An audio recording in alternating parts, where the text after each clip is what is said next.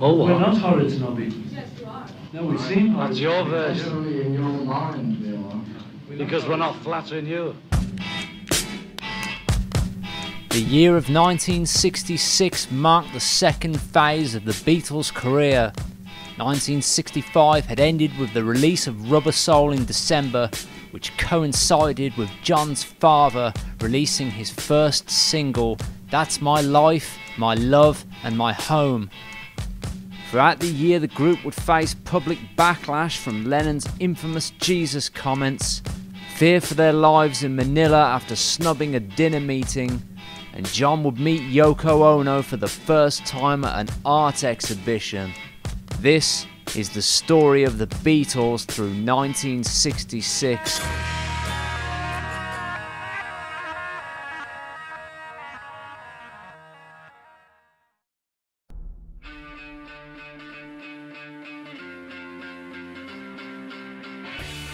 Year began with George and Ringo attending a party thrown by Mick Jagger in London while Paul visited family in Liverpool.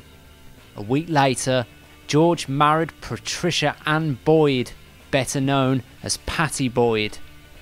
A few weeks after this, the Cavern Club closed down due to debts of over £10,000. To put it into perspective, that's the equivalent of £92,000 today. In March, the world premiere of the Beatles' performance at Shea Stadium was aired on BBC One. That same month, John was interviewed at his home by Maureen Cleave. The intention had been for the public to get a glimpse into his glamorous lifestyle. As the interview begins, John states his father Fred Lennon turned up at the house a few weeks ago only for John to slam the door on him. He states, He was here a few weeks ago. It was only the second time in my life I'd seen him. I wasn't having him in the house. John then goes on to talk about a cat he recently put that he named after his Aunt Mimi. He then takes Maureen on a tour of his Tudoresque mansion, which contains a suit of armour, a room of model racing cars, and a fruit machine. In John's living room sits boxes of Christmas presents he never got round to hanging out, a massive Bible George bought him as a present, and a gorilla suit. He tells Maureen all the Beatles were planning on buying gorilla suits and driving around in their Ferraris wearing them. John was the only one who actually did. John states he's an avid reader and has a wide range of books from Huxley, Orwell, Swift, and Oscar Wilde. John states, I've read millions of books. He then describes himself as famous and loaded, which Maureen later uses at the top of the article. John then plays Maureen some Indian music given to him by George. After 20 minutes, John shouts, You're not listening, are you? This music is thousands of years old. John at this time has been reading obsessively about religion. In a statement that will come back to haunt him, he remarks, Christianity will go. It will vanish and shrink. I needn't argue about that.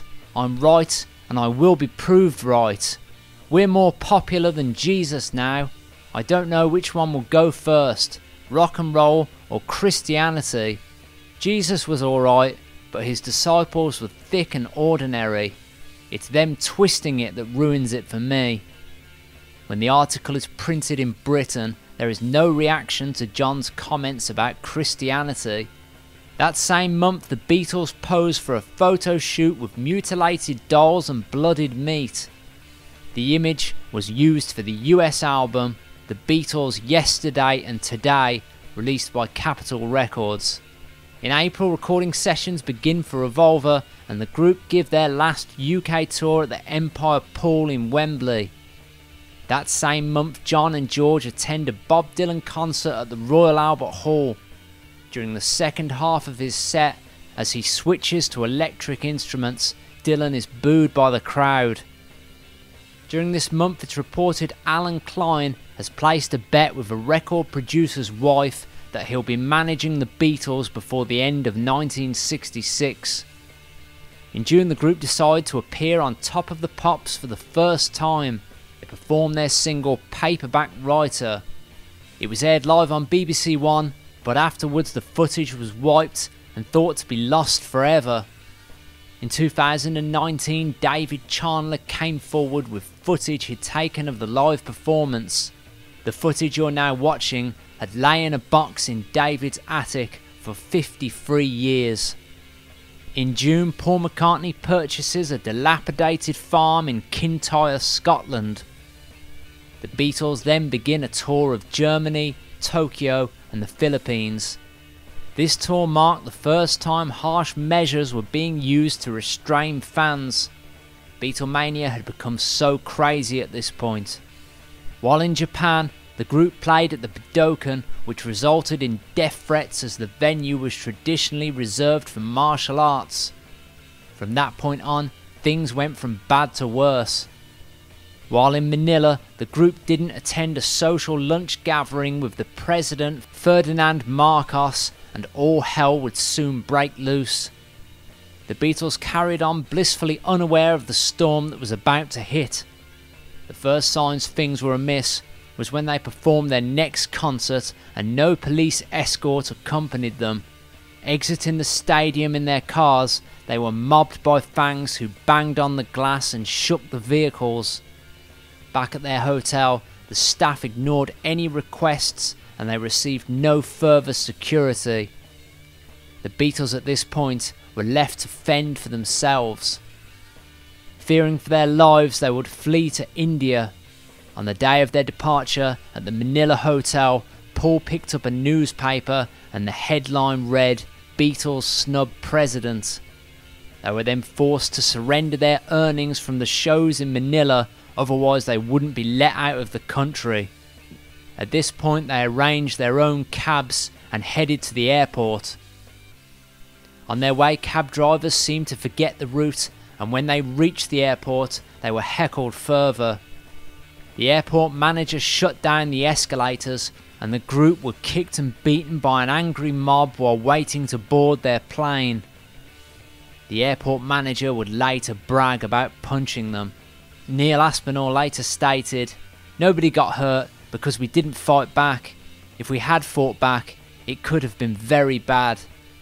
Once on the plane, they were so relieved Paul stated they were kissing the seats. After that, they spent three days in New Delhi before returning to London. The Beatles would never return to the Philippines. In the three days they spent in New Delhi, India, George was able to buy a decent sitar and they decided once and for all to quit touring. The whole time in India, they were careful about what they ate, but ironically, it was on the plane ride back to England they all got food poisoning from a beef stroganoff served. John and Ringo took turns throwing up. Back in London, while the Beatles wrapped up sessions for Revolver, in Southern America, John's comments about Jesus resulted in public burnings of their records.